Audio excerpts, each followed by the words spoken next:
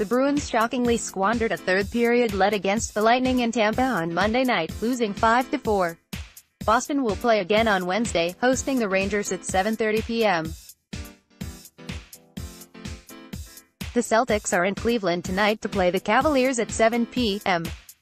Tom Brady's contract situation Tom Brady's contract is currently set to expire after next season. And while Brady probably has no interest in leaving the Patriots, it would be notable for New England to enter a season having not extended their franchise quarterback's current deal. In past years Brady and the Patriots have made a habit out of renegotiating during the offseason. So far, that hasn't been the case in 2019.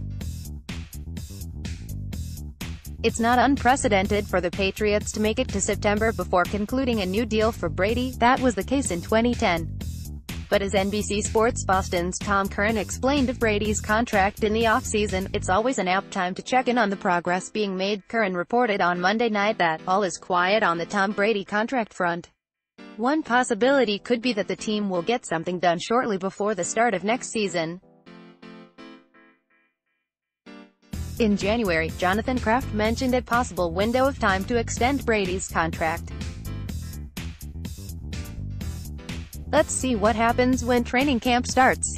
Kraft said during an appearance on Boston Sports Tonight, Brady's contract has historically been an asset for the Patriots, and bringing his current cap number, $27 million, under control figures to be a priority.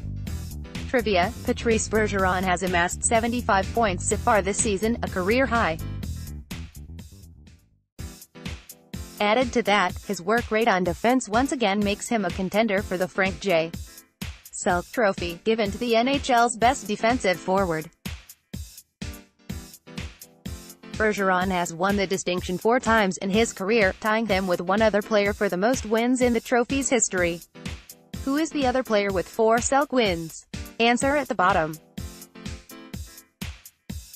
Hint, he won it four times in a row, a span of time in which he also won multiple Stanley Cups and a Conn Smythe Trophy. More from Boston.com, Brad Marchand's favorite player is a fan. Brad Marchand was so starstruck meeting Martin St.